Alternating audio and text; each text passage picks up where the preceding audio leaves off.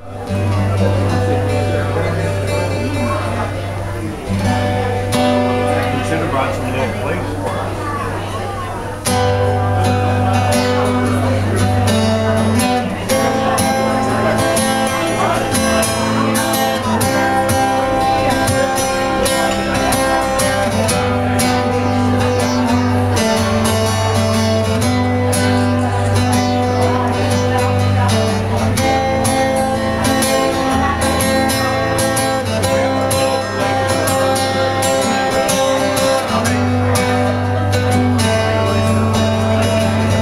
25 years and my life is still trying to get up that great big hill of hope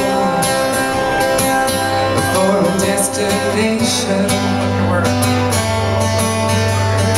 I realized quickly when I knew I should, the world was made up of this brother.